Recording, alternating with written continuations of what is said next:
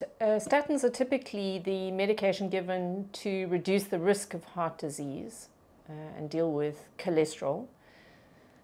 But the problem, of course, is that um, as with any medication, there are side effects, and there are some pretty profoundly negative side effects with um, statins.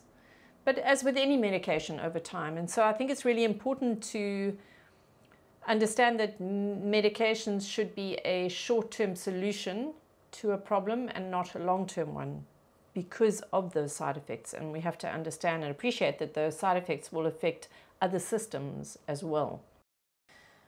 So muscle pain and weakness uh, is a very, very typical side effect of statins. But that seems to come from CoQ10 depletion. And this compound CoQ10 supports muscle, muscle function.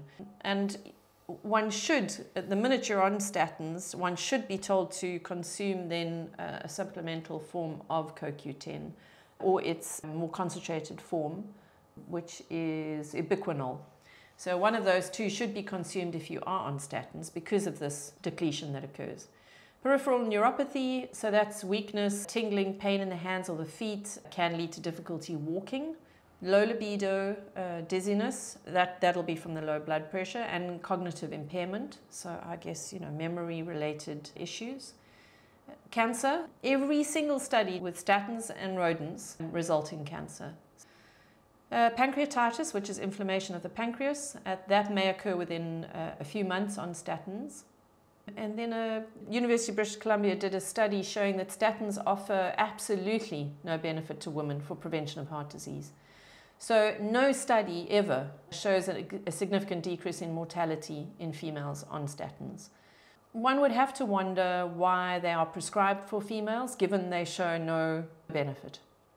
I guess when you've got this information, you're in a much better position to decide whether you want to continue with statins or perhaps look at coming off them if you are on them, but maybe talk to your healthcare practitioner about it and see if you can come up with a plan for how to come off uh, these drugs.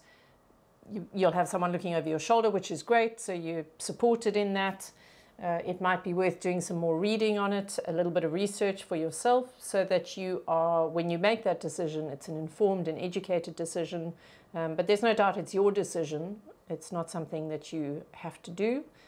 Uh, and I just always think it's worth considering the bigger picture and the impact long term on your health and uh, various other systems, as well as the primary issue that you're trying to address.